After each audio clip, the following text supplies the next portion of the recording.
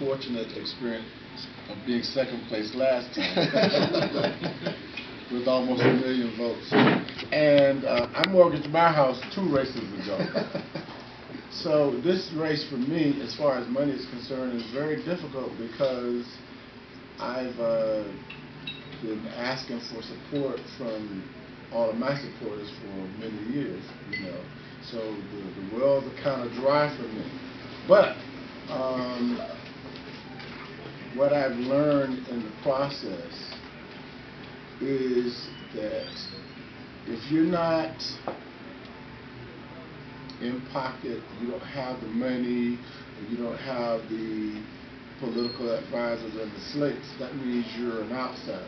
And so you've got to work uh, a whole different plan, which is what you know I'm having to do. Uh, this money issue is nothing new. You know, when I first ran for office, I came in like a, a newborn puppy you know, and I was all hype about the political process. And I really didn't want to do it, but because I wanted to be a judge, I kind of like was forced to do it. So I got out there and I started doing it, and I was campaigning. I was going, oh, this is kind of nice, you know. And uh, that was the race that Ed and I were, were in, and that was tight race, about six of us in that one. And I really just kind of got my feet wet, but I really didn't have a real good understanding of the politics. The next race is when I mortgaged my house, and then I really got a taste of what it was all about.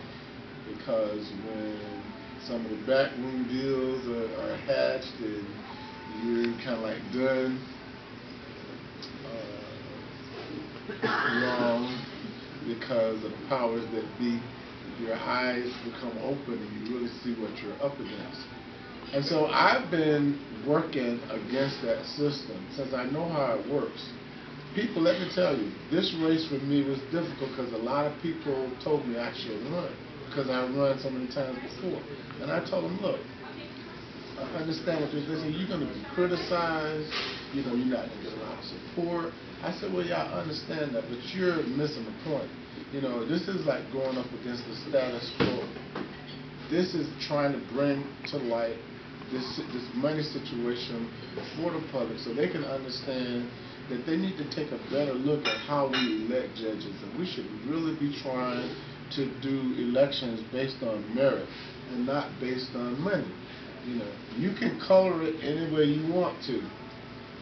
But when you got the money to buy those slates and those slates and your political advisors get that vote for you, that's money. Now, I'm not going to say that everybody who gets elected is not qualified. I'm certainly not saying that. But what I'm saying is, as you listen to all of our qualifications, obviously we're all qualified to sit, you know. So what has been one of the main factors that decides the election is the politics and the money, you know, not necessarily the qualifications. So I don't know, you know, I, I would love to, somebody made this recommendation, I thought it was a great recommendation. The elections uh, office puts out the little pamphlet, you know, that we all get.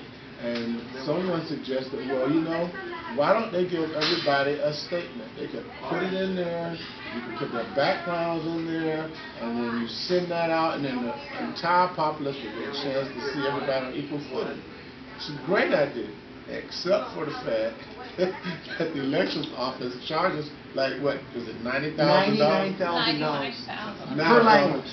Yeah, for uh, Just in one language, church. ninety-nine thousand. If you want it in Spanish, it's another ninety-nine thousand. So even the government has got their hands in the till. You know what I'm saying? So uh, we're we're in a real uphill battle. It's going to really come down to Democratic clubs like yours to put pressure on the system and change it.